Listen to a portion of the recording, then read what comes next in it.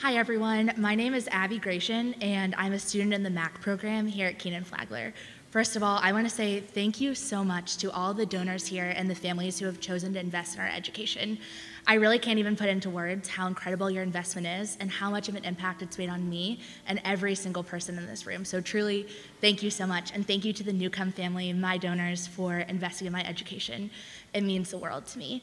Um, when I first found out that I'd been chosen to receive a fellowship for the MAC program, it was last summer. I was nannying for four kids at one time, and when I got the call that I had gotten a fellowship, my first thought was, this is great. I don't have to nanny while I go to school. So thank you for saving me from spending all my spare time with toddlers.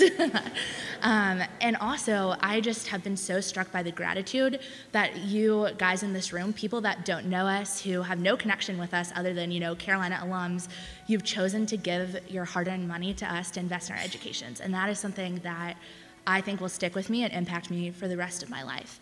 And so, being given so much and being so blessed to have this fellowship, I've really felt a sense of responsibility. So, like people have touched on, I feel a really sense of responsibility to one day when I am older and wiser and more successful and not a poor graduate student to invest in others' educations financially. But more so than that, I've also felt a responsibility to give back right now in the position that I'm in. So even though I don't have the resources to give scholarships to people, I've really been really excited about all the opportunities I've had as a student in the MAC program to give back to my community while I've been in the program.